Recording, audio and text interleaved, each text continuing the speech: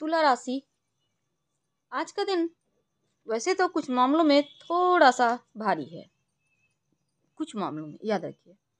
आज अपने स्वास्थ्य का खास कर ध्यान बनाए रखिएगा। स्वास्थ्य में बिल्कुल लापरवाही ना करें।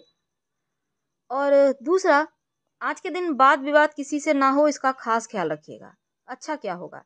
किसी परिजन की तरफ़ से कोई शुभ सूचना मिलेगी? जो व्यवसायी हैं अगर आपने कोई बदलाव करने का सोचा है, वो आप कर सकते हैं।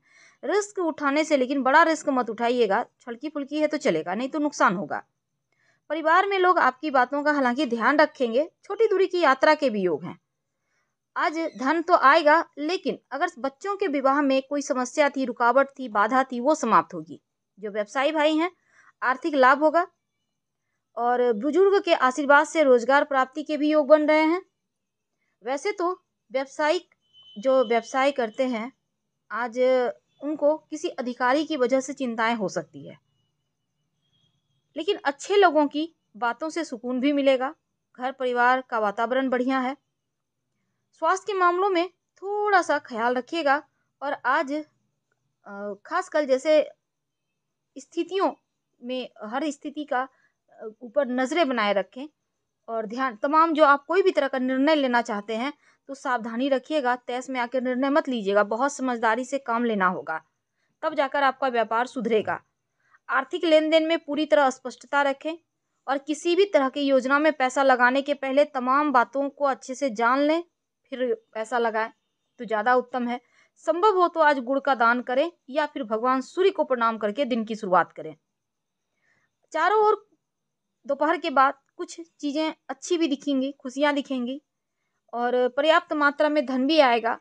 विरोधी शांत रहेंगे, यात्रा के योग हैं, लेकिन जो लोग लव रिलेशनशिप में हैं, उनके लिए आज उत्तम, देर शाम ठीक है। आज किसी अजनबी पर ज़्यादा भरोसा करेंगे तो पक्का वाला नुकसान होगा। मेहनत, लगन से कार्य क्षेत्र में बहुत कुछ पा सकते हैं। परिजनों की मदद मिलेगी, रुके हुए काम बनेंगे और नौकरी करते हैं, किसी भी तरह का कोई गलती ना हो, इसका ध्यान रखें। और जीवन साथी से अगर कुछ छुपा रहे हैं तो पक्का वाला आज उनको ज़रूर पता चलेगा। तो आज प्रॉपर्टी का बिज़नेस से जुड़े हैं तो फिर धन की प्राप्ति होने के योग हैं। और दूसरा, आज कोई बढ़िया समाचार मिलेगा, लेकिन आलस से मत करें, दिन की शुरुआत योगा एक्सरसाइज से करें, भगवान सूर्य को प्रणाम ज़रूर कर लें या जल ही अर्पित कर दें, आपके लिए बहुत उत्तम रहेगा। शुभ रंग नीला भाग्य साथ निभाएगा आज के दिन, करीब सत्तर प्रतिशत और भाग्यांक आपका तीन है। तो आज धन की मुश्किलें थोड़ी परेशान करेगी, लेकिन देर शाम ठीक हो जाएगा। किसी विश्वास पात्र लोगों की सलाह से ही आगे बढ़े। विद्यार्थियों के लिए समय अच्छा चल रहा है। आपको टेंशन नहीं लेना। पढ़ाई करें, मन लगाकर और गायत्री मंत्र पढ़ें।